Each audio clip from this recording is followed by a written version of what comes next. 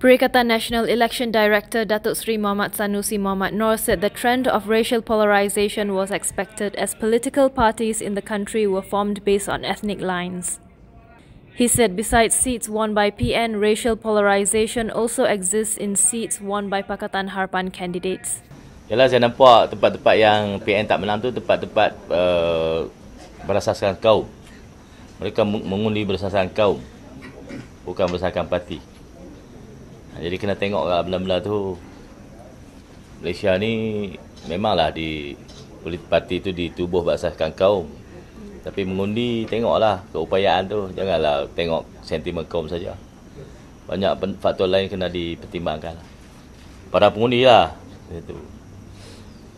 DAP pun tak tak bertanding tempat tempat dia tak boleh menang lah. Dia pun tak letak calon DAP tempat Melayu.